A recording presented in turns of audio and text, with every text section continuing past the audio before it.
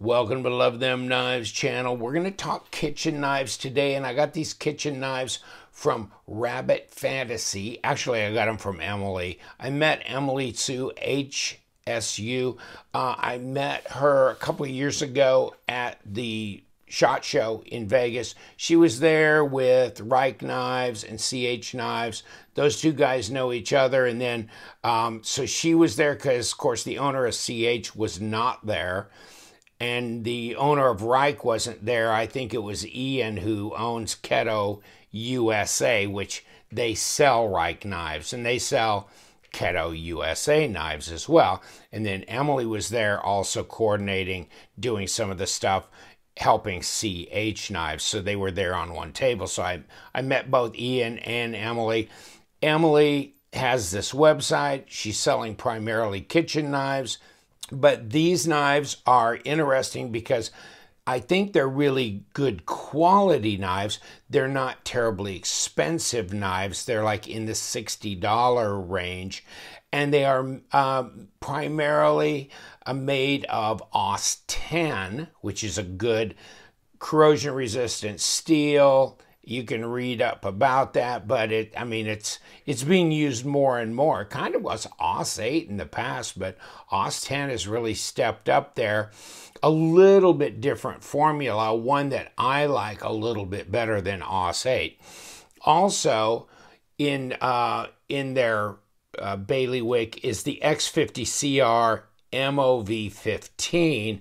So this is like a German steel and I looked that up as well. And you guys can do some research on these steels if you want. Um, X50 CRMOV, German steel, very stain resistant. Here's the composition on it. Uh, then he feels the XCR MOV15 uh, knives because they're not expensive, but they're really nice, uh, durable, quality knives. Uh, you know, you got toughness and corrosion resistance. And, and you know what? That's what you really need is you need something that that will flex, you know, without breaking, so it'll take impact, which is toughness, and then corrosion resistance because you have enough chromium in there to be resistant to corrosion. Uh, Anything with carbon in it, by the way, will corrode. But, you know, you get into the stainless area, and that's where these are. So uh, they're very sharp. Uh, and take a look at them. This is that, uh, I don't know, I call it Knoll, K O N O L L, because I don't think you pronounce the K, but maybe you do. Uh, and it has a mosaic pin in it. It's full tang. It's contoured. I have not field tested these yet. So I wanted to do this as a basic entry to show you the knives. And then I'm going to put these knives to use in the kitchen. And I don't know if I'm going to wait six, nine months, a year, whatever, and do a follow up. I want them to get dull uh, and have to resharpen them, see how they resharpen. Uh, of course, kitchen knives, by and large, I mean, you need to wipe them down when you're done. You need to care for them because anything with carbon in it will corrode. So you can't just cut up a bunch of acetic stuff and then let all that residue sit on the knife and not touch it for days. Okay, so you, you know, care for your knives. Um, but they seem to be really nice quality. Fit and finish seems really good. Uh, you know, they're contoured nicely. And let's go to the next one. This is uh, one I can't pronounce either. I think G O J D E N. Okay. And if you look at this as well, it's AUS 10 plus or minus 60 to 60 HRC plus or minus 2. Okay.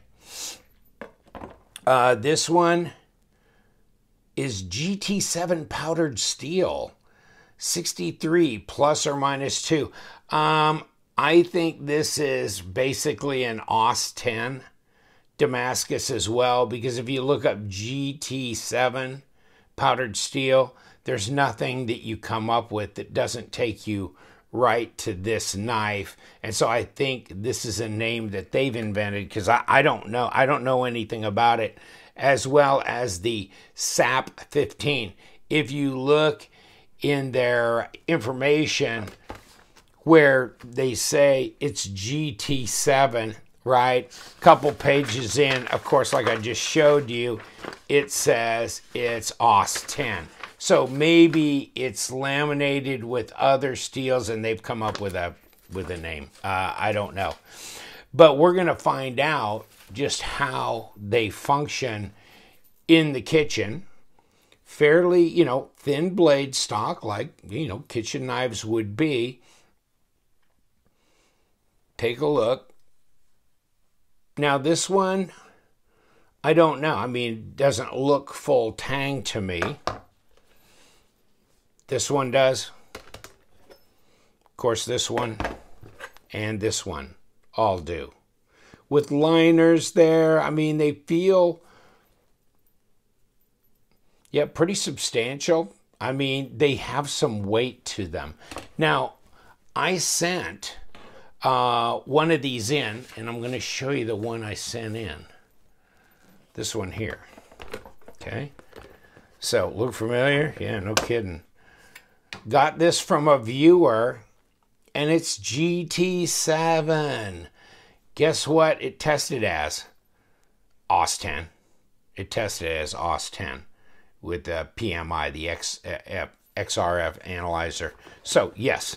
Uh, and that, I never did report on that, and I don't have the PMI uh, actual readout uh, unfortunately, uh, here. I don't know where I put it, but I got it back and I stuck stuck it somewhere, and now I can't find it. And I've asked my testing guy if he can pull it out of his records or not.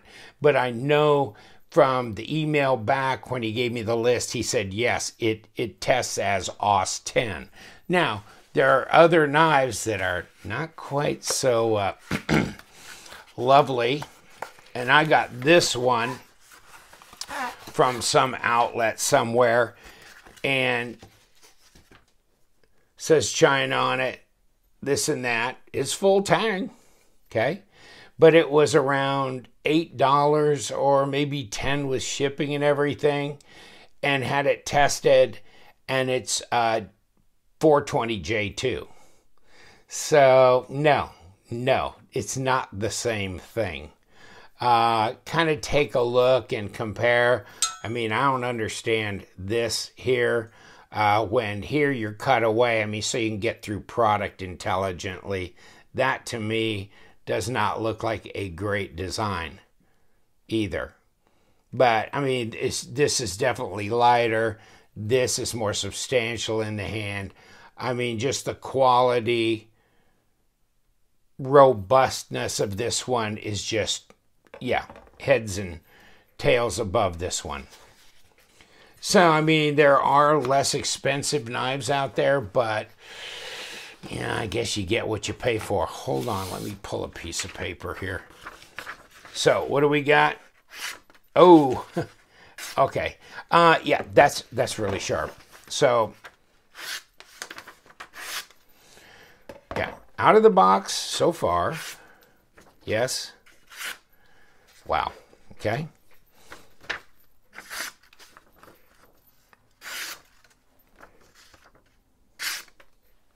Yeah, all really, really, really sharp. And I'll give you the, uh, you know, the link to her site. Uh, you can look at all the different types of knives they have. Obviously, kitchen knives vary depending on their purpose. And these will uh, definitely get some use in uh, the kitchen here, and we'll know more about them then. But I mean, the quality feels good from what I've heard from the couple of viewers that have bought these knives from her site is that they're really impressed with them. Um, from some of the feedback I've seen as well, they they seem like they're very pleased with them. And we can take a look really quick at some of the stats.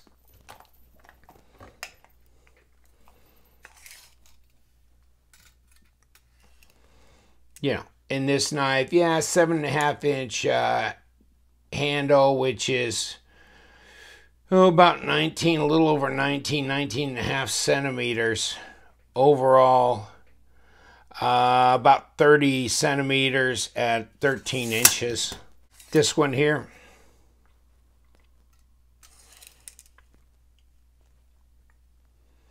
Wow. Uh, getting close to 8 inches at uh, 20 centimeters.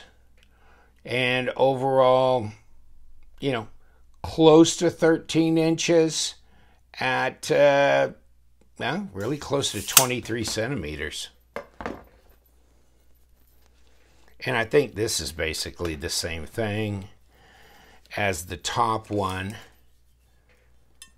And this one, uh, yeah, these are all right in there, seven and three quarter inches at uh, about almost 20 centimeters, not quite and then uh, 12 and a half inches overall at at 32 centimeters. Uh, one thing that might be interesting is uh, blade stock, and we're looking at. Let me see if I can lay it across the top and the bottom, as it's kind of irregular here. About 2.8. 2.9 at 0.11. Next. Uh, 0.08. 2.2. Next, 2.0 at 0.08. And I believe this is the same as the one below. Uh, 0.09 at 2.5. So pretty thin. Uh, behind the edge,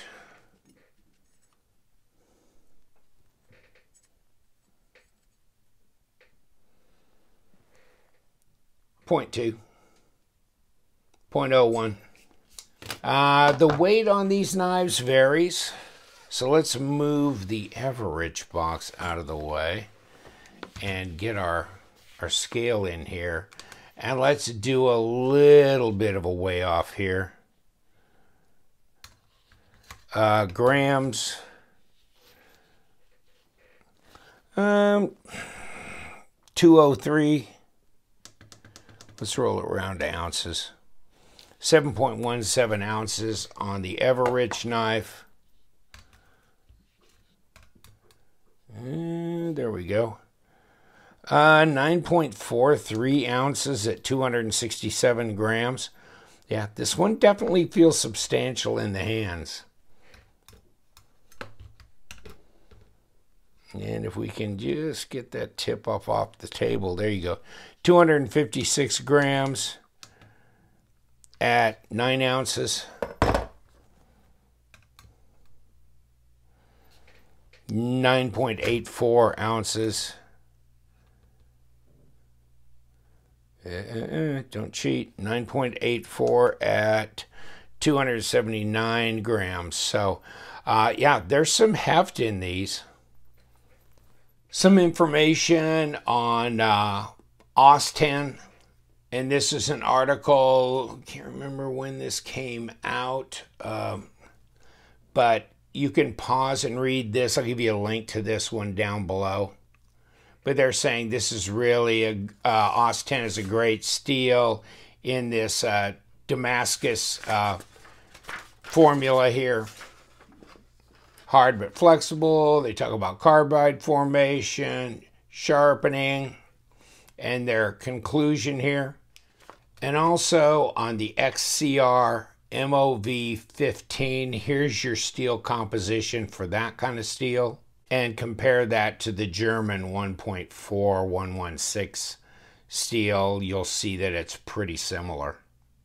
So, quite a variety of knives. Check it out. Click on the link. Um, and uh, see what you think. If you're into kitchen knives, but you really don't want to spend several hundred dollars on a kitchen knife, you want to try something out that seems pretty quality, or you can hold back and wait for my one year anniversary, whatever trial. Uh, they they look and feel better than anything I got in the drawer. I got a lot of various and sundry knives, believe me.